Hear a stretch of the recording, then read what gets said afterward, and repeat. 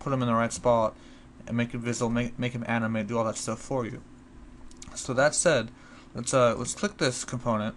Don't double click. If you ever double click a component, you're going to go inside the component, and you can tell you're inside a component by on the top left where it says scene one, and then it says something to the right of it. Uh, right now we are inside the dynamic menu component. That's not where we want to be right now. We want to be on the scene one component, just like this. Because if you double click and things get grayed out and you're in this component, anything you change here is going to be affecting every dynamic menu component. Which could be a good thing. If you're later after you follow this tutorial and you want to make your own menu based off this system, all you have to do is edit this dynamic menu component and add your own look and your menu will function exactly the same but it'll have your look and you don't have to touch any code because all that's already done.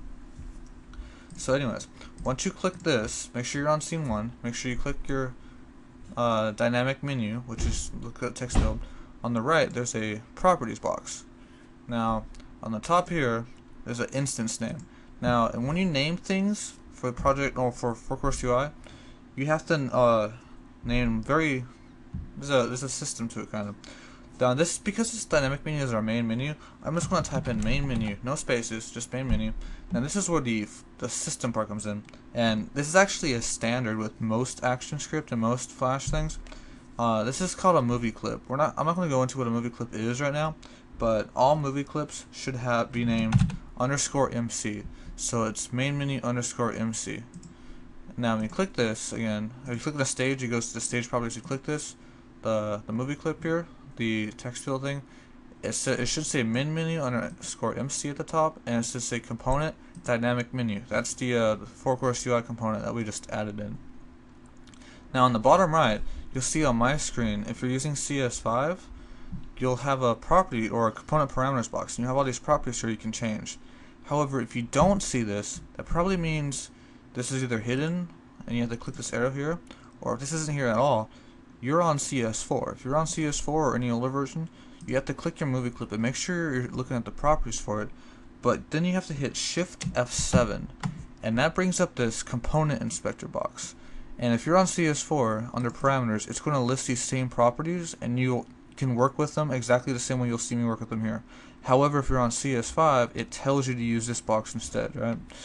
I'm not sure why they did that, but I think the whole Shift F7 was kind of confusing. So so if you're on CS4 older, make sure you have your main menu selected and hit Shift F7. If, if you're on CS5, just look in your properties box, it's all here. Now, you'll notice that under animation, like under component parameters, we have this animation type. I've only made one animation so far because I have other things to do on my project than just Flash. But as Forecourse UI pro uh, develops, there'll be more animations, and you can always make your own animation type, but we'll go over that later. Now, you can change this to none for no animation or fly in for some cool fly in effect. Now where this button, there's this little pencil icon, and you get this, if you click that, you get this box called values. And this values is like a list of all your buttons. So for our main menu, we want new game, and I'm going to add another button by clicking this plus here. I'm going to call this settings, and I'm going to make another button, I'm going to call this exit. And I'm going to hit OK. Alright, now I'm going to save this right now. And I'm going to go back to the properties. I'm going to do one last thing before I cut this video off because I need to keep these videos under 10 minutes. That way they fit on YouTube. I want to change the menu title to main menu. Just like that.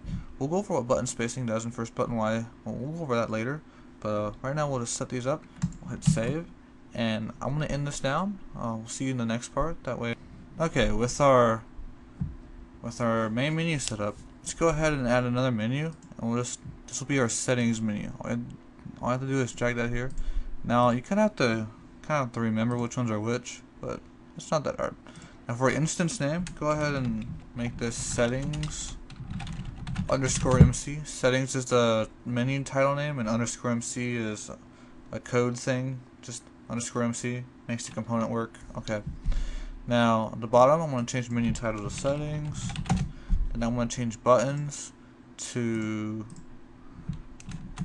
I was going to change the resolution, just like that. Then I'm going to change this to save settings. Then I'm going to change this last one to exit. Okay. That's cool. Now I'm going to go ahead and save. and nothing's. If I hit uh, if I hit test with FX Media Player with a Scaleform launcher, it's not going to do anything again, and that's because basically it's not set up right. Like, well, the components are there. It's just this holder doesn't know about them yet. So in order to make this component know about them, on the we have a timeline down here on the bottom left. Let's go ahead and uh, click a new layer, and let's uh, double click the new layer here and name it actions. Actions of a when we call a layer actions, this usually means we just have a layer on the timeline that's just meant for action script. But uh, just, I'm not going to go into where the timeline is. There's plenty of video tutorials about that. So uh, before we actually code this, we need to click our dynamic menu holder and give that a name too on the top right. I'm just going to call this DM holder underscore MC. It just makes sense that way. So DM holder underscore MC. Now I'm going to click the first frame on our actions layer. It's kind of hard to see, but uh, the actions layer has this white little rectangle with a circle on it. Go ahead and click that and then hit F. Okay, I just remembered I can't hit F9 because that would pause my recording, but uh, hit F9 or go to Window and go to Actions, and that brings up your Actions box. And this is where you type in Unreal Script for your, well, for the first frame of your movie. That's cool.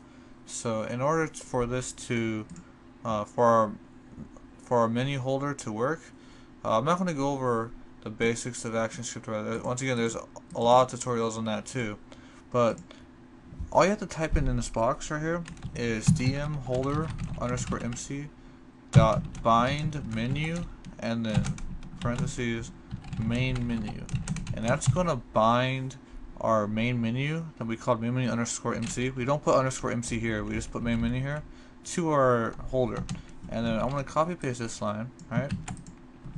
I'm going to enter and I'm going to put settings here. And that binds our settings menu and then one last thing I want to type in dm holder underscore mc dot switch to menu. That parentheses and I want to type in main menu again.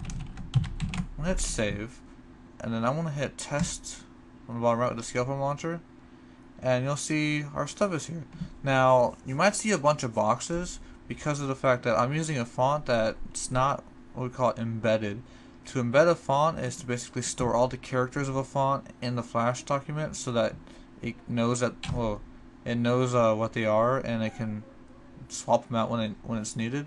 But right now, only a few letters are there. Only the letters that, like some basic letters, are there, but they're not all there. So in order to fix that, we need to go to to our library here, and we can right-click and go New Font. Now, the font that I'm using is uh, Berlin Sans FB. I'm not sure if that's a standard font, but I have it, and it came with Right, like it was just here, so I started using it, and I like it because it looks nice. So now I'm going to click All under Character Ranges, and that embeds all the upper, lower numerals and punctuation of this font. we can click OK, and we'll have a little font 1 pop up here. Then we can hit Test again, and as you can see, our text is no longer there, and you'll see that, uh, is this the right, is it already, Wow, apparently my code already has animation set up for it. Awesome. Alright, I didn't, I didn't know I did that. Alright, so, um, yeah, with these three lines of code, and you're binding this main menu, and you're switching to the main menu, you have this already animated but main menu type of thing. And the components are set up to animate themselves, and when you mouse over, they pop out, and they do things like that. And you click them, they push in. So that's pretty cool, right? So, uh, with that there, we can now uh, I want to end this video here again just to keep the video short, but now we can add in some basic functionality, adds a little bit of code, and now we can make the menu switch to another menu and we can make these buttons actually do things. So I'm going to go ahead and close this, and I'm going to stop the recording, and I'll see you in the next part.